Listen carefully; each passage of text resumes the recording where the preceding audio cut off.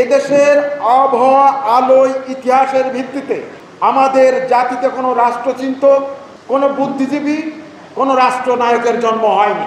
আজকে যে ওয়েস্টমিনিস্টার ডেমোক্রেসির কথা বলেন, চালু করেছে আমাদের দেশের এই শাসক দলরা, এটা লন্ডন থেকে আমদানি করা। লন্ডনের জনগণের মূল্যবোধ আর আমার দেশের মানুষের মূল্যবোধ এক নয়। আমাদেরকে দিন দিন শিকড় থেকে সরিয়ে নিয়ে যাওয়া হয়েছে। একটা জাতিকে যদি বিভ্রান্ত করে রাখতে হয়, যদি ঘুম পাড়িয়ে রাখতে হয় সব থেকে উত্তম পন্থা হচ্ছে সেই জাতির কাছ থেকে ইতিহাসটা কেড়ে নিতে হয়। আমাদের জাতীয় জীবনের যত ইতিহাস আছে, অধিকাংশ ইতিহাস হলো মিথ্যা বিকৃতি দ্বারা পরিচালিত। ইতিহাস বাদ দিয়ে জাতীয় জীবন হয় না। প্রত্যেকটা জায়গায় বাংলাদেশের মানুষকে কীভাবে ঘুম পাড়িয়ে রাখা হয়েছে, শিকড় থেকে কীভাবে দূরে যাওয়ার চেষ্টা দূরে নিয়ে যাওয়া হয়েছে এবারকের ছাত্র আন্দোলনে দেখলাম কিছুটা শিকড়ে ফেরার চেষ্টা। তারা জহির রায়নের কথা লিখছে, তারা নজরুলের গান গাচ্ছে। শিকড়ে যাওয়ার চেষ্টা করেছে এবারকের এই ছাত্র তরুণদের আন্দোলন। ডক্টর কামাল হোসেন নিজেই বলেছে, বঙ্গবন্ধুকে সামনে রেখে এই সংবিধান বানানো হয়েছে। এই কথার কারণে এই যে ডক্টর কামাল সাহেব, তার তো বিচার হওয়া উচিত। কত বড় স্পর্ধা! একটা জাতির সাথে তামাশা করে একজন মানুষকে সামনে রেখে এটা সংবিধান বানিয়েছে। অর্থাৎ আমাদের জাতি কিন্তু এরকম ডক্টর কামাল দ্বারাই পরিচালিত। এদের পেটেরটা যতদিন জাতির মধ্যে থাকবে, ততদিন এই জাতির কিন্তু এই পরিকত ভালো ভালো কথাই বলেন, আপনি এ থেকে কিন্তু মুক্তি পাবেন না। সংবিধানের আর একটা বড় সমস্যা, অর্থাৎ সংবিধান জন্মলগ্নে একটা না যায় সংবিধান। দুই, এই সংবিধানের সব থেকে বড় সমস্যা কি জানেন? এটা একটা দুর্বোধ্য সংবিধান। যখন হলো প্রেস ক্লাবের সামনে বইটাই বিক্রি হতো, সংবিধান বিক্রি হতো। আমি একটা বই সংবিধান কিনে নিয়ে গেলাম, বিশ বিশ পঁচিশ এরকম হবে আর কি। আমি সুস্থ মাথায় সেই সংবিধান আজ পর্যন্ত পড়তে পারিনি। এমন একটি দুর্বোধ্য সংবিধান। প্রথমে সংবিধানকে দুর্বোধ্যতা থেকে মুক্ত করতে হবে।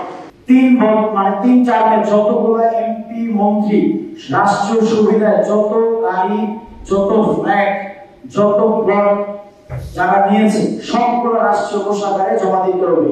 সেটার সময় কিন্তু তারপর আপনারা জানেন যে এই আন্দোলনে বিক্ষিপ্ত ভাবে সারা বাংলাদেশে বিভিন্ন ভাবে আপনারা দেখবেন যে বিভিন্ন থানা থেকে অস্ত্র উঠেছে যে অস্ত্রগুলো এখন জনগণের বিরুদ্ধে ব্যবহার করা হচ্ছে বিভিন্ন ভাবে। বিভিন্ন ভয় দেখানো, লুটতরাজ, ডাকাতি। আজকে আমরা যদি বলি যে এই গণ অভ্যুত্থানের এক মাস পার হয়ে গেছে। এখনও পর্যন্ত দৃশ্যমান বড় কোনো উদ্যোগ আমরা এখনও দেখতে পাইনি যে এই উদ্যোগের মাধ্যমে বুঝতে পারব যে এই বিশ হাজার বা দশ হাজার যে অস্ত্র লুট হয়েছে, এই অস্ত্রগুলো রিকভার করছে সরকার।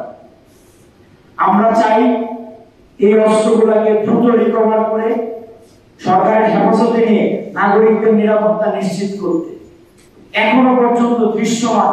আমরা দেখতে পাইনি যে সকল ফ্যাসিস্ট হাসিনার খুনির দোষর, যারা ছাত্রদের গুলি চালাইছিল, যারা জনতার গুলি চালাইছিল, ওই গুলি চালানো যারা সন্ত্রাসী, এই খুনিরা এখনও সারা বাংলাদেশের বিভিন্ন জায়গায় তারা ঘুরে বেড়াচ্ছে।